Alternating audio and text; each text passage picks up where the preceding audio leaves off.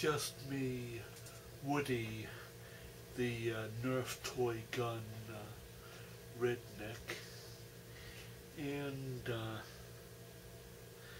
I do have something uh, serious, well, well, serious to talk about, and it does not have to do with uh, toy guns and uh, you know the difference between toy guns and real and uh, real guns. The issue is uh, with uh, was it uh, the New Hampshire State Legislature is going to was it be a uh, bill is in committee. You know, that a specific bill was it New Hampshire House Bill 1325. It is a bill to permit, was it uh, assisted suicide in the state of New Hampshire. And I'm only speaking for myself as a uh, person with autism and uh, cerebral palsy that I am 100% opposed to this House bill.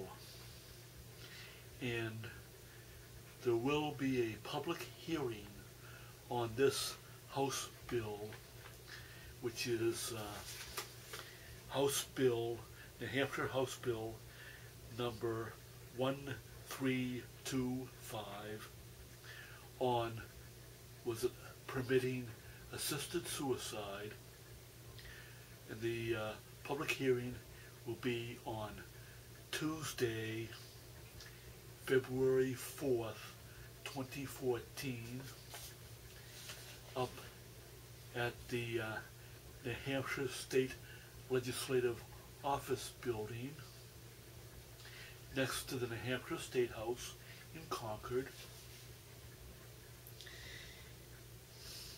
at uh, 1.30 p.m. And yes, I will be there because I now have a car to get me get myself up there.